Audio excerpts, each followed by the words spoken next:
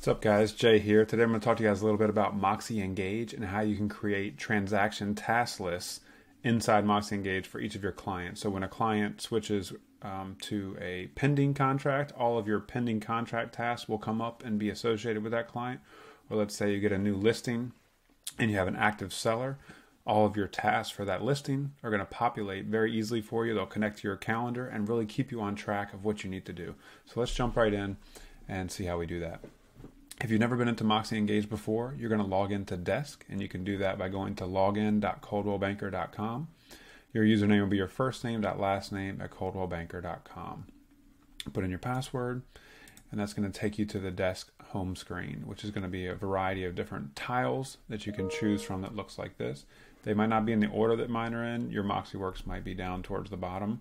You can just grab that tile and drag it around and you will go into MoxiWorks and you're going to land on the MoxiWorks dashboard, which is your hub for all the different Moxi products.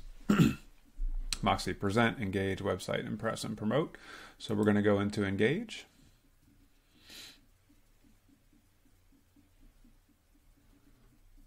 And this is your dashboard that you always land in. So to get to the transaction task list, to create those, you're going to go into the top right and you're going to go to the gear icon and you're going to go to engage settings.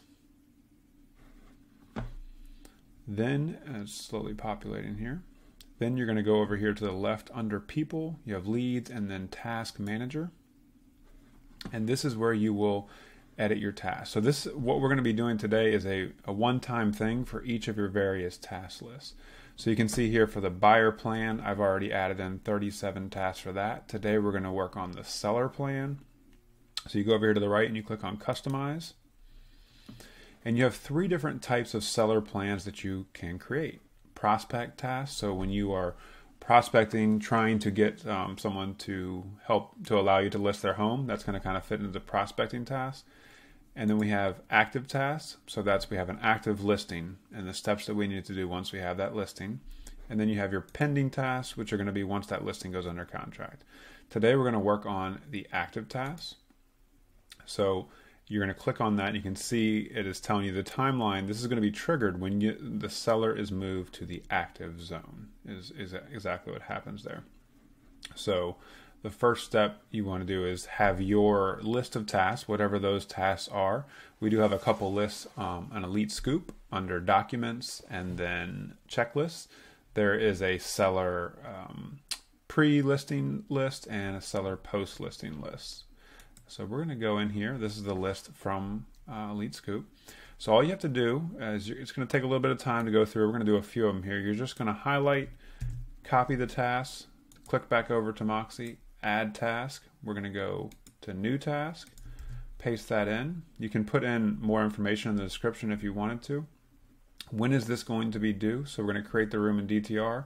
We want this to be due immediately once we set this up because that's one of the first things you need to do. We're going to add that in. And now we have one task on day one. So we're going to go back into here, go to our next task, upload listing docs to DTR, copy that, go back into here, new task, paste. Um, we're going to say, let's see, this needs to be done within 48 hours, so we're going to put in two days for that. And um, let's see here, let's go back and go to one more task. Add seller to the DTR room. So we're going to go here, new. We'll have this one on day one also when we create the room. And you can choose the dates, whatever works for you, but you do need to have a date on there because it'll populate out based on when you switch that seller into active. All those dates will populate and then they will become um, on your calendar and they'll be associated with that client. So simply, this is all you have to do. You just have to go through and just keep copying and pasting, adding them in, um, putting the date in there of when those are due. And, and that's it. So I'm to do one more here so you guys have an idea and I'll show you how this gets activated. So we go in here, create one last one. Say day three. So now we can see we have five tasks that we've created for this um, active zone for sellers. So I'm going to close this out. I'm going to make sure you go up here to the top and save.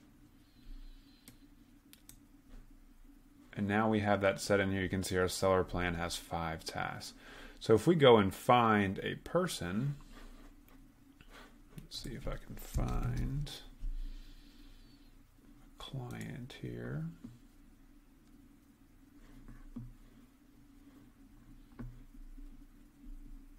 see if we can switch them. What are they categorized as?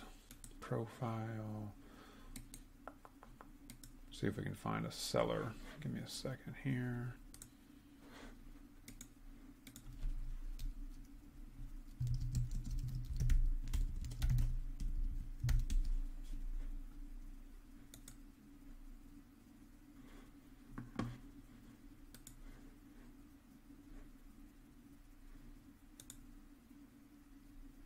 So we're going to switch this client to a seller. So we're going to say done. And once we, so right now they're considered a prospect, and once we move them to the active zone, all of those tasks will populate that we just created. So we want to confirm that you can't go back to that zone there. So now for this client, we have all of these tasks due tomorrow. Add the seller to the DTR room, create the room in DTR, and then on the 7th, we have uploading listing docs to DTR. And you'll find those in various places. Hopefully, it'll populate this quickly here. Um, but let's go ahead and go down to transaction tasks. And you see here, we now have a new task for our seller, Adam. And we can just check those tasks off as we're going through, just like that. So that's how you create tasks. You can do that for, let me go back in there to show you again all the different areas that you can create tasks in. You can do a lead marketing plan. So you get a new lead. What are the steps that you need to do? Uh, we've talked about how you need to call that client multiple times. You need to email them. You need to text message them. So you can have a task for each one of those things um, under the lead marketing plan.